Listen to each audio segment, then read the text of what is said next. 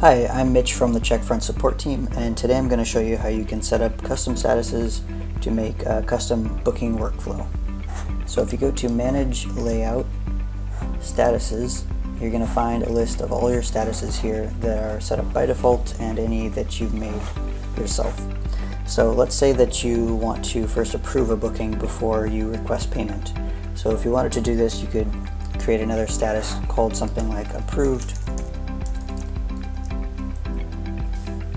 and then we'll go ahead and create that.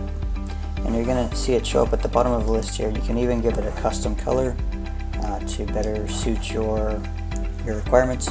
And then you can see also there's a couple other options like lock. So lock makes it that so that um, if a booking is in this status that means all of the inventory in the booking cannot be booked by another customer. So it's actually allocating that inventory to the booking um, compared to if a booking has been canceled, then you don't want to lock that inventory anymore. You want somebody else to be able to take it. Um, so there's also an order, uh, the order that the statuses will show up on the booking list, um, and whether or not it should be enabled and show up on the list altogether.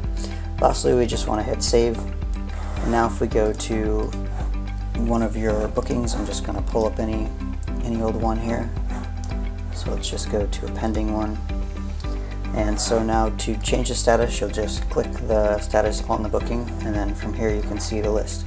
So if by default you had your bookings uh, coming in at either pending or reserved and weren't taking any payment then and then wanted to first approve the booking, um, you could change it to a status approved and then have an email notification that was sent set up to automatically request payment.